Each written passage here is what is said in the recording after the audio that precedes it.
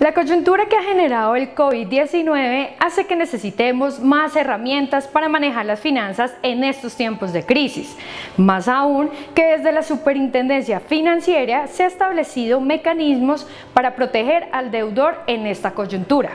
En esta cátedra LR conozca con Fernando Zúñiga, director del área de educación financiera de ASEO Bancaria, cuáles son las claves fundamentales para gerenciar su tarjeta de crédito de manera eficiente para aprender a calcular los cobros que le hacen los bancos y mejorar sus finanzas personales. La cita es este 24 de febrero a las 3 de la tarde.